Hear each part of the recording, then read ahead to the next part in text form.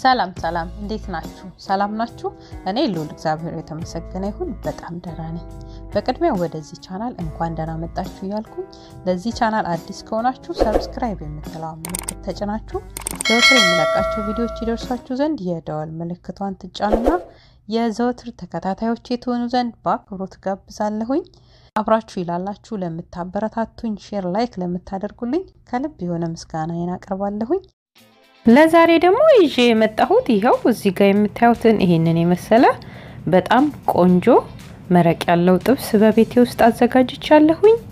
አሁን ጥብሱን እንዴትና ከምን እንደሰራሁት አብረን እናያለን። በቀጥታ ወደ አሰራራችን እንግባ።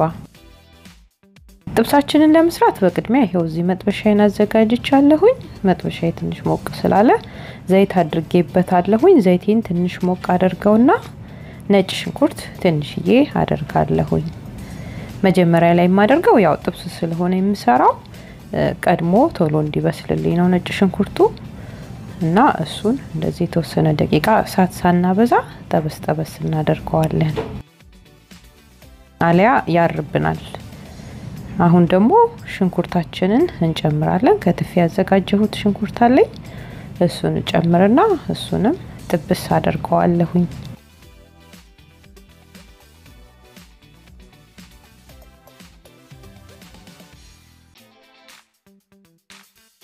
ሽንኩርት የፈለጋችሁትን አይነት ሽንኩርት መጠቀም ትችላላችሁ። እኔ ይሄኛውን ነጣ የሚለውን ሽንኩርት ነው የተጠቀምኩት እና እሱን እንደዚህ ቆንጆ አድርጌ እጠብሰዋለሁኝ። ሽንኩርቴን እንደምታዩት ይኸው እንደዚህ አድርጌ ጠብሸዋለሁኝ። አሁን ደግሞ ከትፌ ያዘጋጀሁት ስጋ አለኝ፣ የምጠብሰውን ስጋ ማለት ነው። እሱን አደርግና ስጋውን እንደዚህ ከሽንኩርቱ ጋራ በደንብ አድርጌ ጥብስ አድርገዋለሁኝ። ሽንኩርቱን በደንብ አይደለም ያበሰልኩት፣ የተወሰነ ደቂቃ ነው ጠበስ ጠበስ ያረኩት። ከዛ አብረው ይበስሉልናል እና እንደዚህ እያረግን እንጠብሳለን።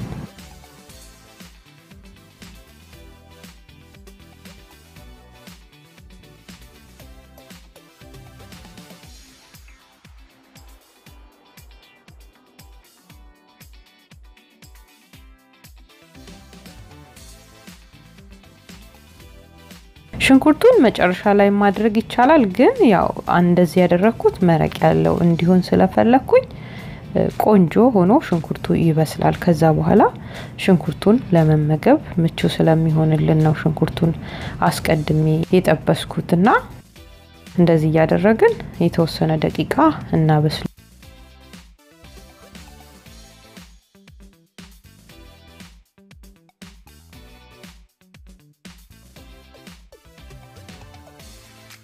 ይኸው እንደምታዩት አሁን ስጋው የተወሰነ ተጠብሷል። ስለዚህ አሁን ከትፌ ያዘጋጀው ቲማቲም አለኝ። ቲማቲሜን ደግሞ አደርግና እንደዚህ አብሬ በደንብ አድርጌ አበስለዋለሁኝ።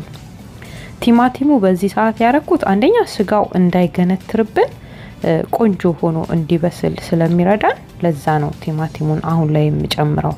አሁን እንደምታዩት ስጋው በደንብ አይደለም የተጠበሰው፣ የተወሰነ ለብ ለብ ብቻ ካለ በኋላ ነው ያደረኩት እና ስጋው እንዳይገነትር እንዳልኳችሁ ቲማቲሙን በዚህ ሰዓት ብታረጉት አሪፍ ነው። አሁን እንደዚህ ቆንጆ እንጠብሰዋለን።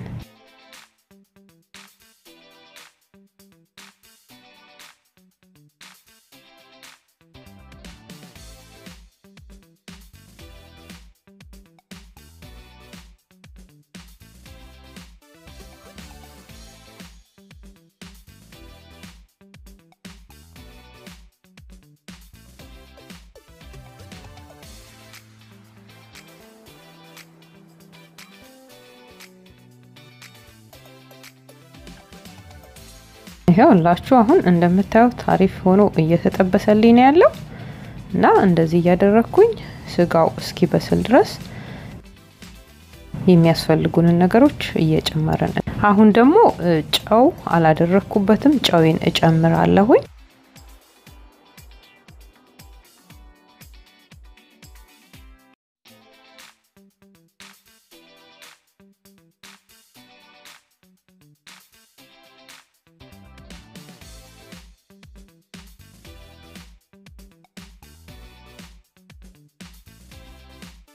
ይኸውላችሁ አሁን እንደምታዩት ከለሩን እየቀየረ ነው። በጣም ቆንጆ ሆኖ እየበሰለልን እንደሆነ ነው ይሄ የሚያሳየን እና እንደምታዩት የተወሰነ ነው አሁን የሚቀረው። በጣም አሪፍ እየሆነልን ያለው።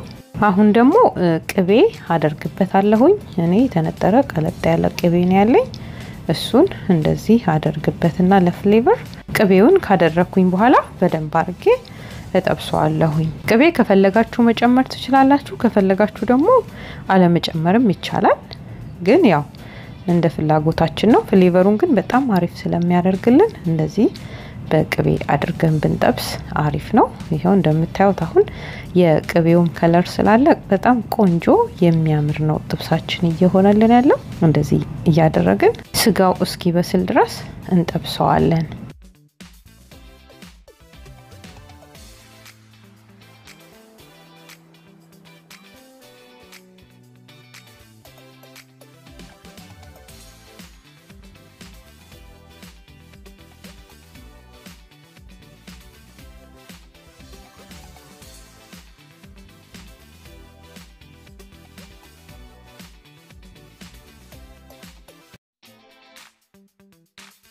አሁን እንደምታዩት ስጋው ቆንጆ ሆኖ በስሎልኛል። አሁን ደግሞ ቃሪያዬን እጨምራለሁኝ። ያው ቃሪያውንም ለመብላት የምንፈልግ ከሆነ በተለይ እሳታችንን እናጠፋለን እንዳይበስልብን ማለት ነው። እና እኔ አሁን እሳቴን አጥፍቼዋለሁኝ ቃሪያውን መብላት ስለምፈልግ። ስለዚህ አሁን በቅቶታል እና የስጋ መጥበሻ አላደረግኩበትም። የስጋ መጥበሻ እርጥቡ ስላለኝ መጨረሻ ላይ ላደርግበት ስለፈለግኩኝ ነው ያላደረግኩበት። አሁን የስጋ መጥበሻውን ከላይ አረገዋለሁኝ።